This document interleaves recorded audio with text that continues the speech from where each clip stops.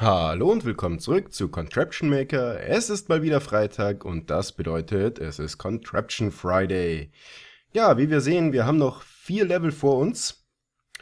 Und ja, äh, das bedeutet, wenn die Entwickler nicht bald was Neues nachliefern, haben wir nichts mehr zu tun. Nein, das bedeutet, dass wir uns so langsam mal Gedanken machen können über die Community-Level. Wenn man hier sieht, nur mal kurzer Einblick. 21 Seiten, da gibt es einiges zu tun.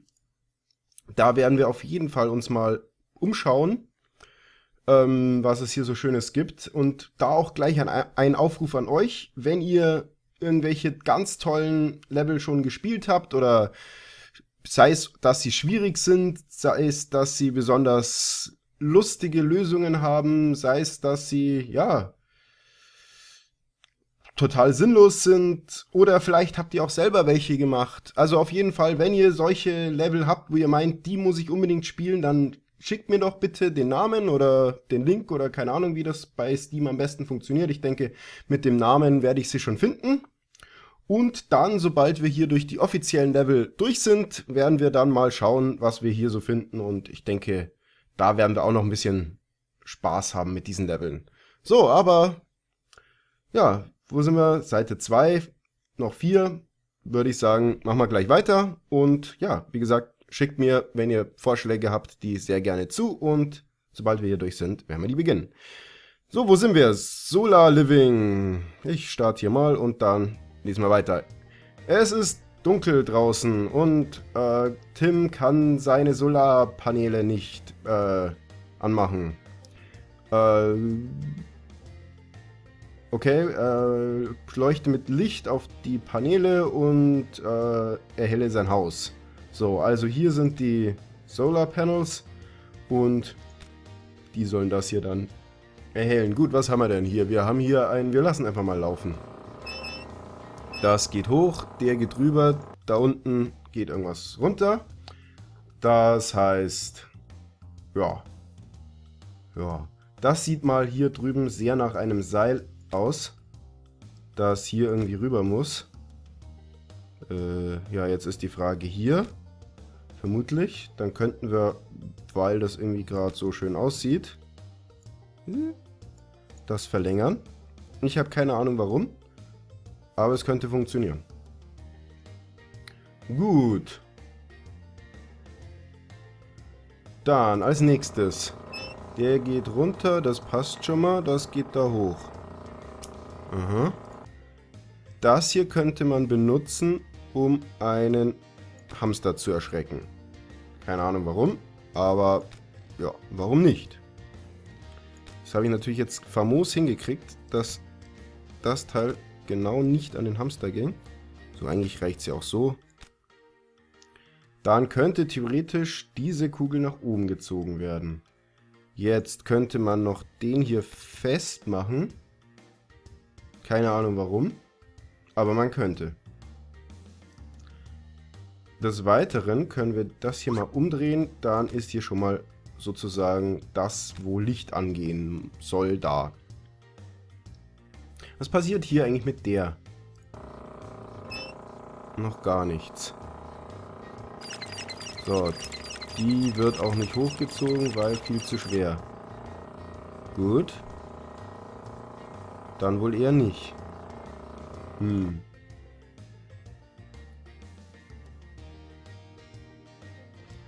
Könnte ihn jetzt hier irgendwas zum Durchschneiden verwenden. Die Frage ist, warum sollte das hier erst durch... Ah, okay, das sollte natürlich erst durchgeschnitten werden, wenn... Uh, das sollte erst durchgeschnitten werden, wenn das hier auch drauf liegt. Das heißt, das dauert etwas. Aber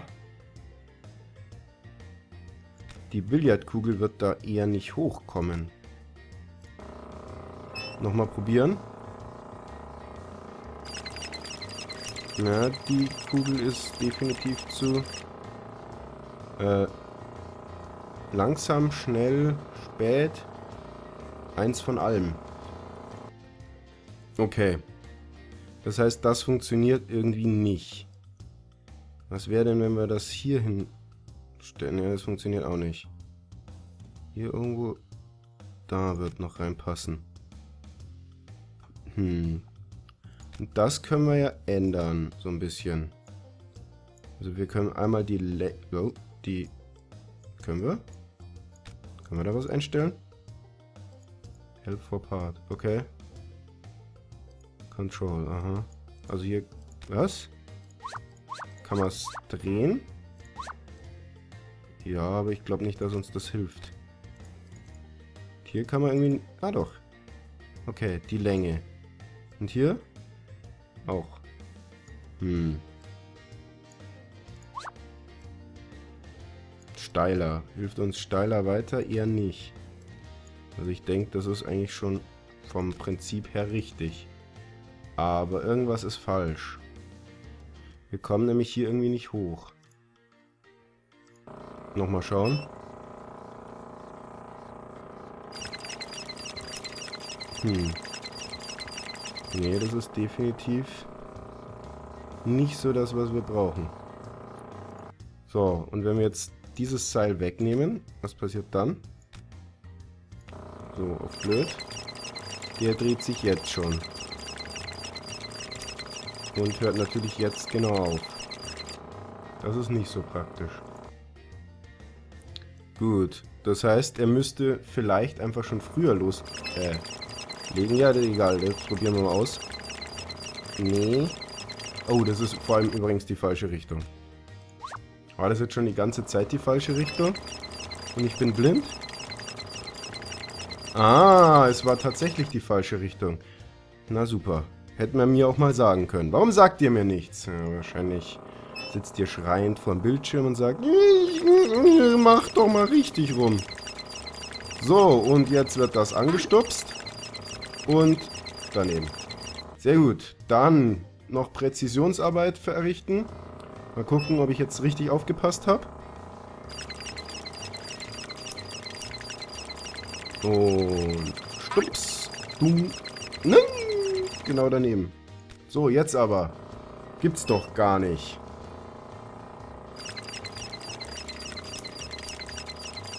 Und, und, und, und, und. Ja, gut gezielt. Tim, glaube ich, hieß er, hat endlich Licht. Das ist doch schön. Auf geht's zum nächsten Puzzle. Äh, diese Blimp Pilots, aha, irgendwelche, die, die, die hier wahrscheinlich, aren't getting anywhere, äh, kommen so schnell nirgends hin. Äh, ja, schneidet die Schnur durch, um sie zu befreien. Gut, also wir schauen mal wieder, was passiert, wenn wir starten. Hier gibt's Licht. Der Ball fällt runter und das war's. Sehr gut. Das heißt, das klingt so ein bisschen nach wenn du hier durchgehst, macht es ganz ordentlich Boom. Das heißt, das muss hier reinfallen.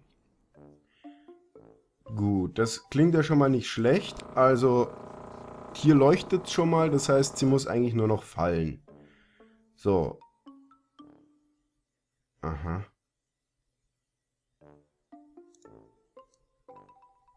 Theoretisch könnten wir natürlich das hier machen. Nur wird ähm, die Kanonenkugel, äh, die, die, die hier, da oben, die, die, die, die, wie heißt sie? Die Bombe, zu einfach, natürlich dann durchfallen. Aber hier, sowas. Kann man ja... Ah, Trapdoor. Das heißt, die Kanonenkugel wird durchfallen, das Teil aber nicht. Dann probieren wir das jetzt mal aus. Ja, hat fast funktioniert.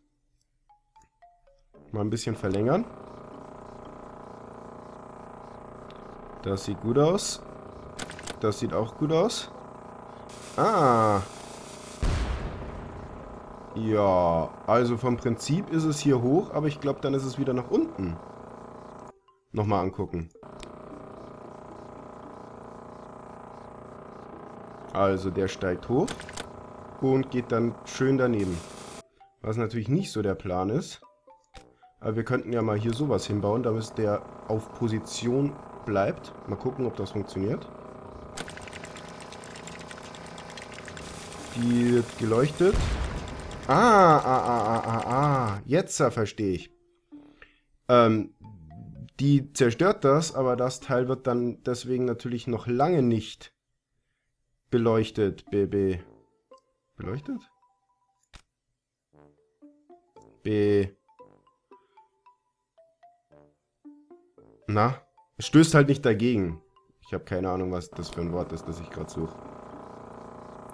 So, und wie sieht das jetzt aus, wenn wir ein bisschen... Na, geht der immer noch nicht durch. Okay, der rollt, der rollt, der rollt. Komm, roll noch ein Stück weiter. Nein, natürlich nicht. Gut.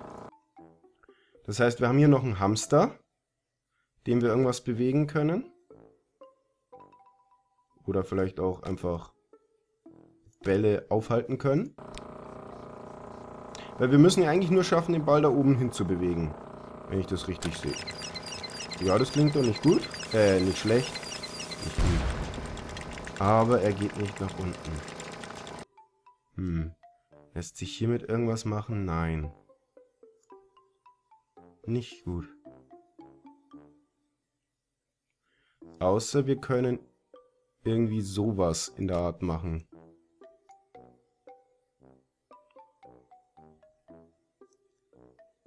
Hm. Aber wie? Fällt, springt der da dagegen? Nicht wirklich? Hm. Also irgendwie müssen wir es schaffen, den hier rüber zu kriegen, ohne diese Trapdoor. Die ich gerade nicht wegkriege. Hallo? Trapdoor? Ah. Gibt's doch. Hallo? So. Was hast du jetzt davon? So. Damit... Hallo? Willst du dich mal bewegen lassen? Damit könnten wir mal eingrenzen, dass er wirklich hier hoch muss. Das ist zwar jetzt nicht unbedingt der Sinn davon, aber und so. So. Er ging ja natürlich nicht durch, aber na, er geht auch nicht rüber. Okay, das heißt, das müsste irgendwas in der Art sein. Puh.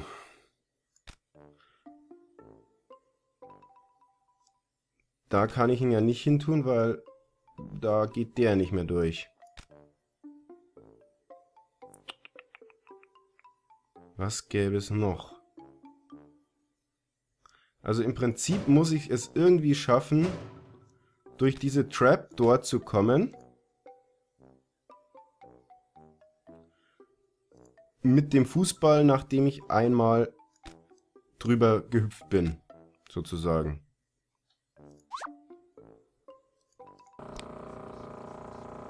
Wie sieht das aus? Na, das ist zu weit, zu wenig Schwung.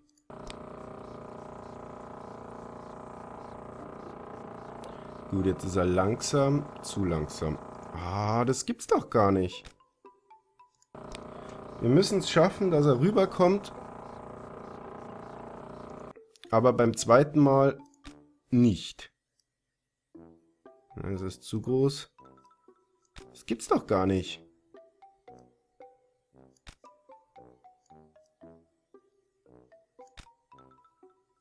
Das gibt's doch gar nicht. Ja, das ging rüber. Fehlt jetzt auch hoch. Ja. Ja, das ist nicht so gedacht. Das war natürlich nicht so gedacht. Jetzt schauen wir mal wieder, dass er durchgeht, ohne den Hebel wieder umzuschmeißen. Bitte, danke.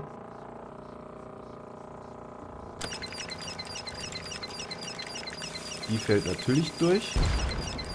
Und der auch. Oh, wunderbar. Es hat geklappt. Ja, dann haben wir noch genau zwei Level über. Und die werden wir dann hoffentlich nächste Woche angehen.